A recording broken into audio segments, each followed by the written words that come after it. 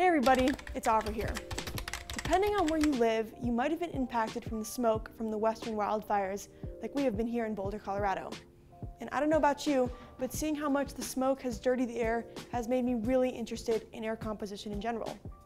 The cool thing is, is that we've just released five new MQ gas sensors. So if you're interested in learning about the air quality around you, it's super easy. Let's check them out. The MQ series of gas sensors uses a small heater inside with an electrochemical sensor to determine whether a specific gas is present in the air. We already carry the MQ3, which is the alcohol gas sensor, the MQ7, the carbon monoxide sensor, the MQ4, which is the methane CNG gas sensor, the MQ6, the LPG gas sensor, and the MQ8, the hydrogen gas sensor. Now we've added an ammonia gas sensor, a hydrogen sulfide gas sensor, a low concentration ozone gas sensor, a smoke sensor, and a dual gas carbon monoxide methane detection sensor.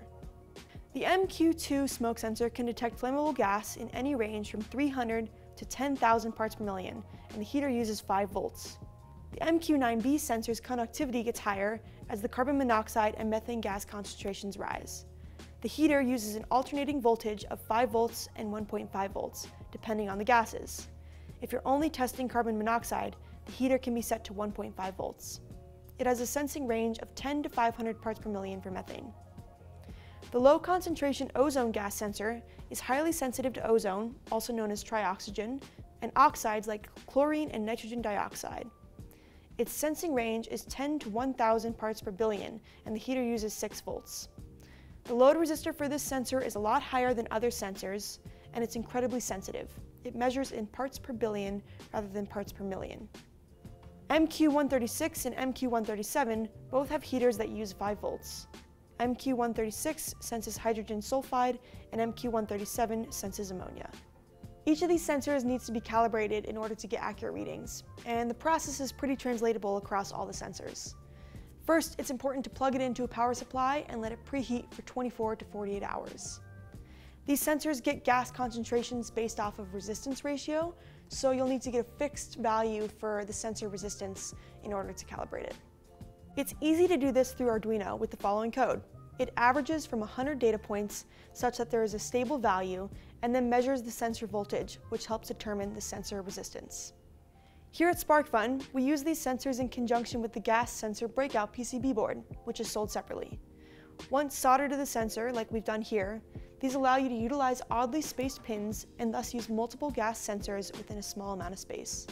It's actually serendipitous that we released these new MQ sensors this week because a couple days ago, my carbon monoxide detector in my house started alarming and my smoke detector had low battery at the same time.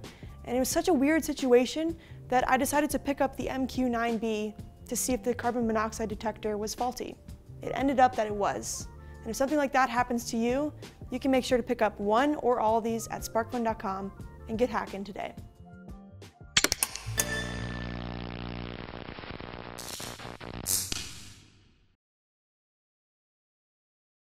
to, yeah, I'm just way off script. Hey, are you? I'm just totally ad-libbing. ah, sensors. That can help you figure that out. We'll just end it there, I guess. Try it again? I don't know, wow. Let's give it another go. Great. If we're gonna finish that better, I don't know how to end that. That's my story for today. You're welcome.